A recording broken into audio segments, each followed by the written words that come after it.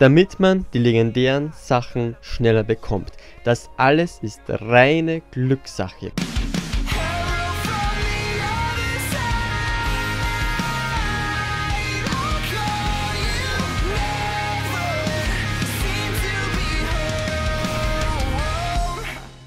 Yo, hallo, servus, habe die Ehre zu einem ganz entspannten Laber-Video. Ich habe mir ein paar Themen aufgeschrieben, die ich eigentlich schon seit kurzem oder vielleicht auch seit längerem euch erzählen oder mit euch bereden möchte. Im Hintergrund seht ihr erstmal ein Computerwissenschaftler-Gameplay. Äh, nichts Besonderes, ganz ordentlich, 37 zu 10. Ich bin glaube ich zweimal in den Crunch-Mode gekommen. Ist ganz okay, aber jetzt nichts Übertriebenes. Ihr könnt euch das Gameplay anschauen oder auch nicht. Ihr könnt währenddessen essen oder irgendwie dabei, zock, dabei zocken. Wird vielleicht ein bisschen ein längeres Video und ja, einfach ein paar Themen, die ich gerne ähm, mal erzählen will. Wir fangen an mit zwei Fragen, die ich in letzter Zeit so oft lese. Ich weiß nicht warum genau in letzter Zeit, aber ich lese sie einfach sehr, sehr oft, eben in der Kickgruppe oder auch in, in den, unter den Kommentaren. Und zwar zuerst mal die erste Frage ist, gibt es einen Trick, wie man schneller legendäre Charaktere bekommt oder legendäre Anpassungen oder einfach legendäre Sachen. Ihr wisst ja, es gibt legendäre Sachen, normale und in Party-Modus. In Party-Modus habe ich, hab ich das schon mal erklärt. Also im Unendlichkeitsmodus eigentlich bekommt man, bekommt man die Party-Charaktere. Und die anderen legendären Sachen, die bekommt man in den Packs. Und um jetzt mal eins klarzustellen.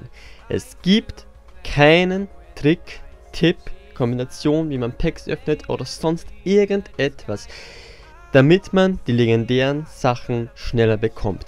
Das alles ist reine Glückssache. Ihr könnt, ihr könnt euch das vorstellen wie Lotto spielen. Es gibt Leute, die spielen 30 Jahre lang jeden, jede Woche, oder ich weiß nicht wie oft ist Lotto, ich glaube jede Woche Lotto und bekommen insgesamt vielleicht 100 Euro, 50 Euro auf alle Fälle nicht den Jackpot. Und dann gibt es Leute, die was vielleicht zwei Wochen oder drei Wochen oder ein halbes Jahr Lotto spielen und gleich den Jackpot mit 10 Millionen ähm, Euro knacken. Und genauso könnt ihr euch das vorstellen in Garden of 2. Es gibt Leute, die was 7 Millionen Münzen ausgeben und vielleicht nur ein Teil, ein legendäres Teil oder vielleicht auch gar nichts bekommen. Und dann gibt es Leute wie ich zum Beispiel, die was nicht so viel ausgeben, die was vielleicht nur wie viel habe ich, hab ich aus, ausgegeben?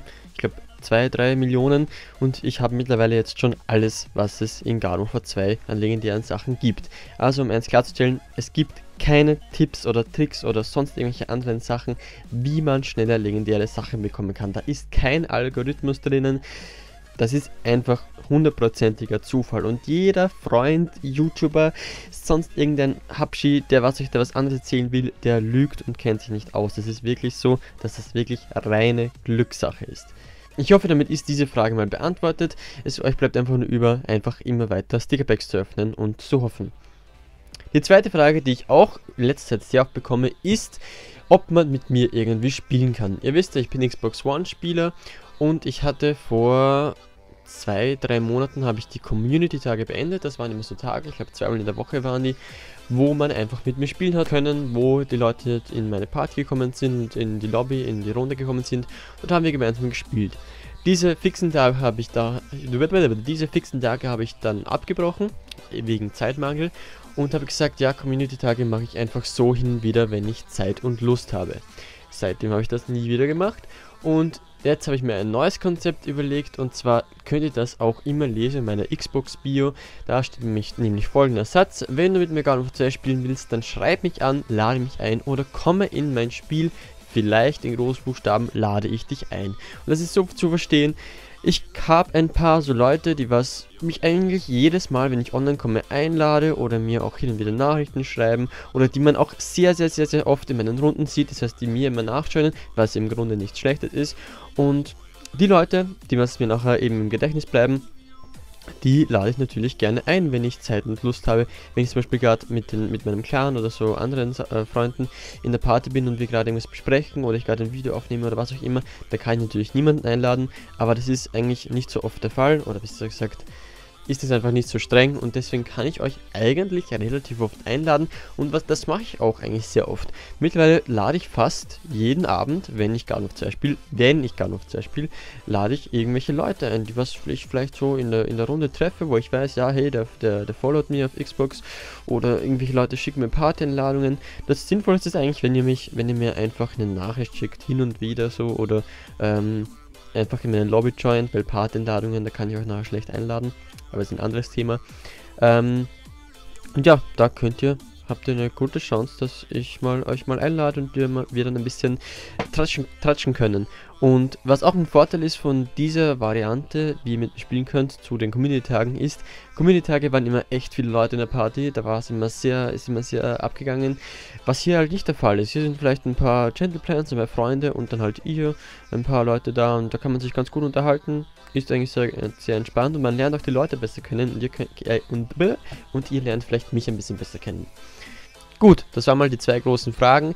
Jetzt möchte ich noch über ein paar andere Themen reden, und zwar die Kick-Gruppe.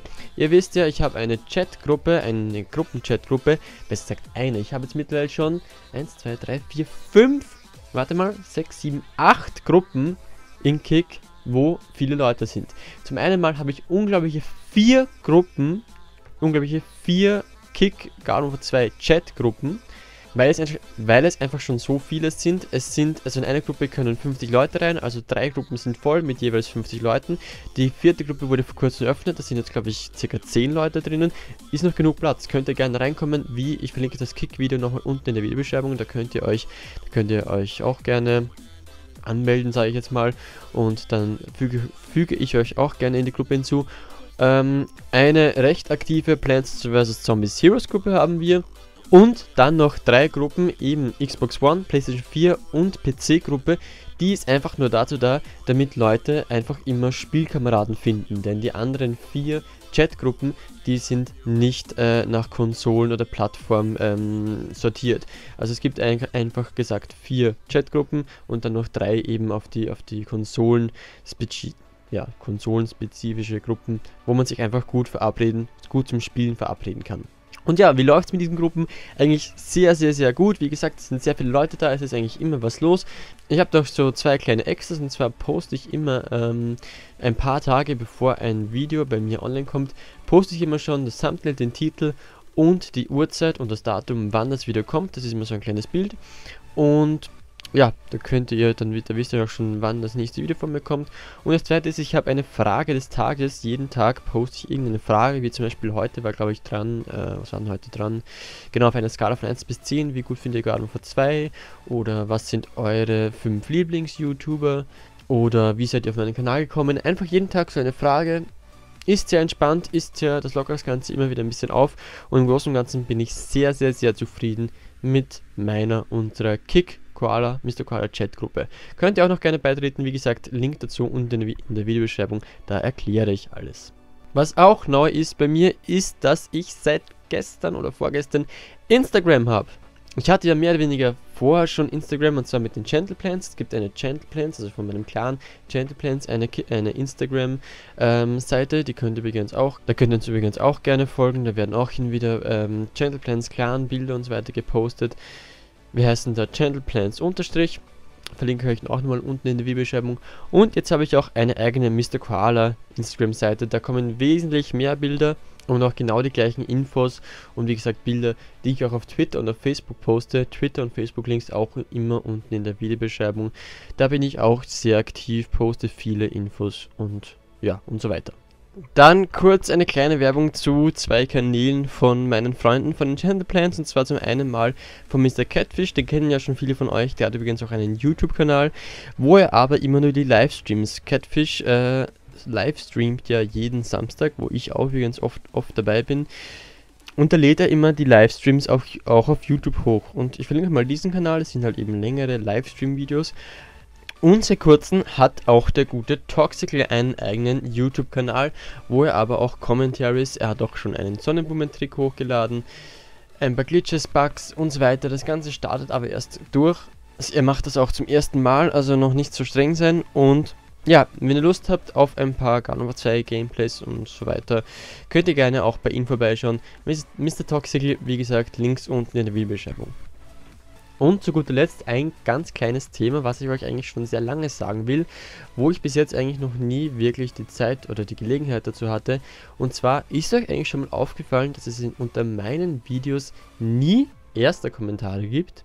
Das hat diesen Grund, dass das Wort erster und 1 Punkt oder First oder was auch immer, ist bei mir in der Blacklist. Das bedeutet, dass äh, Kommentare, die was dieses Wort oder dieses, dieses 1 Punkt oder First beinhalten, die werden automatisch von YouTube aussortiert und werden nur veröffentlicht, wenn ich es zulasse. Und ich lasse so etwas nicht zu, weil meiner Meinung nach sind erste Kommentare kompletter Schwachsinn und tragen rein gar nichts zur Community-YouTuber-Beziehung bei, so wie es eigentlich ein Kommentar sein sollte. Und deswegen sind die bei mir auf der schwarzen Liste und werden schön aussortiert. Nur eine kleine Info nebenbei. Also erste Kommentare könnt ihr euch sparen. Was anderes ist es, wenn man erster schreibt und dann noch irgendwie ein positives oder vielleicht auch negatives Feedback zu dem Video. Dann sowas ja als erster war sehr unnötig, aber wenigstens hat er irgendwie was anderes von sich gegeben als ein blödes erster Kommentar. Ja, das war es eigentlich schon mit den Themen. Ich habe jetzt eigentlich nicht mehr wirklich was mir jetzt aufgeschrieben. Wie geht's euch so? Mal ganz nebenbei. Also mir geht's eigentlich ganz gut. In der Arbeit läuft alles ganz ordentlich. Äh, Wetter ist bei mir auch gerade sehr schön. Und ihr könnt mir jetzt gerne mal, wirklich ohne Witz jetzt, ihr könnt mir jetzt gerne mal in die Kommentare schreiben, wie es bei euch so läuft. Wie ihr vielleicht gerade, was ihr vielleicht gerade so zockt. Oder wie es euch bei, wie es euch bei euch, wie es euch bei Garnova 2 ergeht. Oder wie es sonst so losgeht. Ich glaube, viele von euch haben noch Schule, äh, haben noch Ferien. Einige haben schon wieder Schule. Ich hatte nie Ferien. Ich hatte jetzt Urlaub, die letzte, fast den ganzen Juli hatte ich immer wieder Urlaub. Das war schon, das war schon angenehm. Und sonst ja viel Arbeit. Und die Sache mit YouTube ist auch äh, viel Arbeit. Ich glaube, nächste Woche kommen nicht so viele Videos. Da bin ich die meiste Zeit nicht zu Hause. Das tut mir sehr leid jetzt schon mal. Äh, bei Heroes, bei Plants to Miss Heroes läuft es ganz ordentlich, obwohl ich da demnächst vielleicht ein Video kommt, was mich also Top 3 Dinge, die mich in Heroes aufregen und Top 3 Dinge, die in Heroes äh, top sind. Und ja, sonst bei mir läuft alles ganz gut. Ich habe eigentlich keine wirklichen Beschwerden oder so. Ich bin auch eigentlich im Moment recht zufrieden mit meinem Kanal. Ich hätte, wenn ihr wüsstet, wenn ihr wirklich wüsstet, was ich für Ideen habe, was man in Garden 2 an Videos noch machen könnte, ich könnte fast äh, fast, sagen wir mal, ich könnte mindestens fünf Videos die Woche machen und mir, ich hätte trotzdem noch genug Ideen, die ich äh, rausbringen, ja, die ich umsetzen könnte. Aber da fiel im Moment leider einfach die Zeit. Ja, gut, das war's mit dem Video schon. War mal ein kleines entspanntes Laber-Video. Ich wünsche euch jetzt noch einen schönen Tag oder schönen Abend. Wünsche euch auch die restliche Woche, keine Ahnung, wann ihr das Video seht und das restliche Jahr, das restliche Monat einfach ein schönes Leben, einen schönen Tag. Und ich sage nochmal Tschüss, bis zum nächsten Mal und ciao.